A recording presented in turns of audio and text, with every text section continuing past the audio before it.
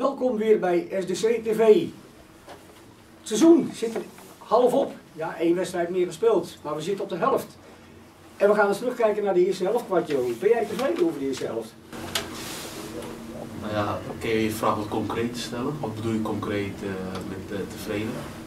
Hoe het gaat, uh, voetballend? Ja, voetballend zijn we op de juiste weg. we zijn goed bezig als het gaat om nou ja, wedstrijden bespelen met uiteindelijk goede positieve resultaten te behalen. Nou, daarin maken we zeker goede stappen. goed als het gaat om teamontwikkeling, voetbalgebied, manier van spelen, nou, dan zien we daar ook wel vooruitgang. Want uiteindelijk heb je dat ook wel nodig om in wedstrijden te kunnen domineren, maar ook in wedstrijden verschil te kunnen creëren. en daarmee bedoel ik vooral tempowisseling, manier van aanvallen, variatie binnen het aanvallen. Ook het functie verdedigen, dus een manier van storen. welke ruimtes we als team moeten herkennen om in de druk zetten dat goed voor elkaar te halen hebben. Dus wat dat betreft zijn we redelijk tevreden. Alleen goed, we zijn er nog niet, want we zijn pas halverwege. En qua ontwikkeling zijn er nog een heleboel zaken die we als team nog willen verbeteren. Halverwege, maar het gaat goed. Je bent de trotse koploper en de uitslagen van de afgelopen weken zijn heel gunstig geweest, want je hebt nu een, een, gat geslagen eigenlijk van vier punten. Nou goed, inderdaad, we zijn op de ranglijst staan we er goed op. alleen goed is natuurlijk nog niet voldoende. Het gaat erom waar we dan staan aan het eind van, van de competitie. Nou, op dit moment is alles toch heel dicht bij elkaar. Dat heeft natuurlijk ook te maken met aantal wedstrijden. Heeft ook te maken met dat we, vind ik, een hele pittige competitie spelen waarbij kwaliteitsverschillen minimaal zijn. De, de, eerste zes en de eerste zeven, ja, die verschillen niet zoveel van elkaar. alleen qua opvatting kan je daar als team misschien daar beter op inspelen. Dus een voorbeeld, zoals afgelopen zaterdag, nou ja, dan speel je eigenlijk tegen eerste klas vanuit een andere regio die middenmoot staat. Nou, dan merk je toch wel dat dat een hele andere opvatting heeft dan nou ja, teams die bij ons in de middenmoot staan. Nou, daar spelen we aanstaande zaterdag al tegen. Nou, dat is dan een Toronto, nou ja, die zijn kwalitatief een veel sterker elftal dan wat we afgelopen week, uh, afgelopen zaterdag uh, tegen hebben gespeeld. Dus het, uh, het verschil is minimaal en nou ja, we zijn in, in zoverre zo goed bezig qua teamontwikkeling dat het het resultaat oplevert, oplevert waar we dan nu op dit moment staan. Alleen we moeten beter en dat, is, dat zijn zaken waar we aan werken. Zie je dan het eerste half jaar, vanaf de eerste wedstrijd competitie tot nu, al wel goede verbeteringen naar jouw zin? Zeker. Uh, alleen, uh, nou ja, uh, kijk, je hebt, je hebt natuurlijk doelstellingen. En op het moment dat je bepaalde trainingsdoelstelling haalt, betekent dat er ook andere facetten vanuit je doelstelling ook beter kunnen. En, en in die afstemming probeer je steeds spelers te stimuleren en spelers duidelijk te maken hoe dat in onze manier van spelen, dat als team dan uitgevoerd moet worden. Dus nou, dat er verbetering is ontstaan of dat we ons verbeteren, ja, dat, is, dat is herkenbaar. Alleen ja, het, gaat, het gaat om dat we tot aan perfectie bijna het spel van ons nog meer moeten zien te verbeteren. Ja, waardoor we nou, minder voorspelbaar zijn, maar ook wel in de kwaliteit van de wedstrijd kunnen toeslaan. Dan ga ik even naar afgelopen zaterdag. Je gaf het net al aan, tegen een andere tegenstander in een ander district. Maar je begon met, maar eigenlijk vier of vijf basisspelers. Hè? De rest waren allemaal wisselspelers eigenlijk. Hè? Klopt niet wat je nu zegt. Uh, wij begonnen met uh, spelers in een selectie die wij op dat moment goed genoeg vonden om de wedstrijdplan uit te voeren. En dat betekent dat we ook wel spelers hebben die vanuit hun manier van spelen. Nou ja, je kan wel lachen, maar ja, wij zijn verantwoordelijk voor een hele selectie.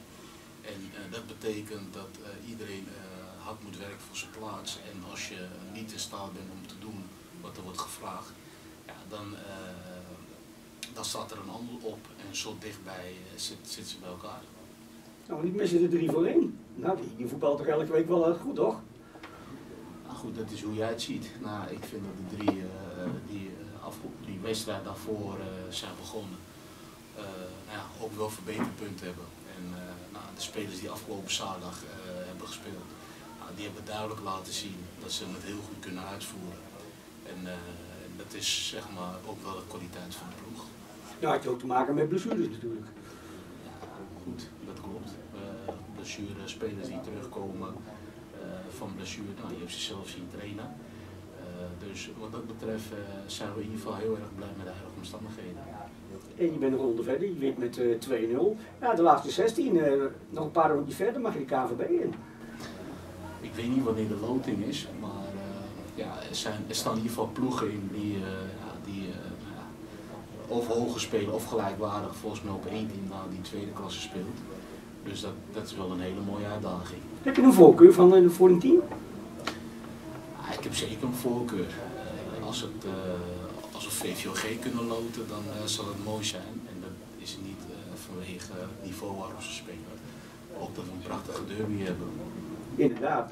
Dan mag ik je nog een keer feliciteren. Die eerste periode heb je binnengehaald. 1-1 speelde CV Apeldoorn tegen DTS. Terwijl Apeldoorn in de bestuurstijd nog een behoorlijke kans kreeg. Ik weet niet of je gekeken hebt, de samenvatting. Maar gefeliciteerd met uh, die eerste periode. We zijn zeker blij met, uh, met de periode. En nogmaals, dat is een beloning waarvoor de mannen in die instantie keihard voor hebben gewerkt. Als je terugkijkt naar de race die ze hebben neergezet, dan is dat ook wel een verdiende loon. Natuurlijk heb je, uh, mensen spreken soms wel eens van geluk in het voetballerij. Alleen ja, mensen zeggen ook wel van ja, dat win je af. In dit geval hebben we gedaan wat wij uh, hebben moeten doen. En dat is wedstrijden winnen. Om zelf op een positie te spelen. Ja, en dan is natuurlijk aan de concurrentie om te laten zien of zij dat kunnen verbeteren. En nou, we zijn in ieder geval blij met, met de periode alleen. Ja, we willen meer en dat hebben we denk ik eh, afgelopen zaterdag gezien. Eh, we doen mee in de beker. Eh, we staan er redelijk goed voor in de competitie. Er komen beslissende maanden aan, hè, want je, je, gaat tegen de einde aan. Dus elke wedstrijd die je nu speelt, ja, dat kan een verandering zijn op de ranglijst. wat natuurlijk veel belangrijker is dat we naar onszelf moeten kijken en dat we gefocust moeten blijven op beter voetballen, wedstrijden winnen.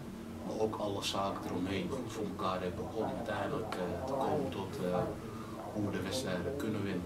Ja, je zegt echt, uh, na speel je sowieso, maar ja, we willen meer. Maar dat willen de spelers ook, want de spelers geven ook aan, we willen gewoon kampioen worden. Ja, fijn dat ze dat hebben uitgesproken. dat zie je ook terug in hun trainingsgedrag, in hun wedstrijdgedrag. En het past ook bij uh, de cultuur van de club, het past ook bij uh, ambities die de spelers hebben, die wij ook hebben als staf, maar ook als club. En we, staan er ook, we doen er ook alles aan om uiteindelijk zo goed mogelijk elke week onszelf te presteren. Dus ja, ik, ik zou niet weten wat ons zou moeten tegenhouden om niet alles te geven. Inderdaad, en laten we de restant van de wedstrijden, het tweede half seizoen, maar netjes afmaken en gewoon kampioen worden. Heb jij een mooi succes? Nee, niet ik. Uh, de club, wij als Jij bent trainer, jij moet die jongens vertellen hoe ze het doen moeten. Nou ja, zie, je, hebt er, je hebt er niet zoveel verstand van hè, om als trainer te zijn. Kijk, ja, daarom ben ik ook geen trainer geworden. Ja, maar dat hoor ik ook. Kijk, het gaat erom dat wij een, uh, we hebben een staf en uh, we hebben een spelersgroep en we hebben mensen binnen de organisatie, onder andere jij ook. we zijn natuurlijk allemaal met één doel bezig en dat is de spelers zo goed mogelijk faciliteren. En jullie zijn bezig om ons als team zo goed mogelijk te faciliteren. En uh, dat bij elkaar zorgt ervoor dat, dat we elkaar blijven uitdagen en stimuleren om voor de hoogste te gaan. Dus ik ben onderdeel van het team en nou, zo, zo zie ik ook naar rol. Alleen het betekent natuurlijk wel dat wij als team alles eraan doen om ervoor te zorgen dat we zo goed mogelijk pre presteren. Inderdaad hou het vol, want ik geef van Gans harte natuurlijk de spelers ook op een heel mooi seizoen natuurlijk en dat je kampioen moet worden. Kwartjo, bedankt en succes zaterdag tegen de. Dankjewel. Geen vraag over de Dronte? Nou. Wat? Nee, gemiste kans. Ik moet naar binnen.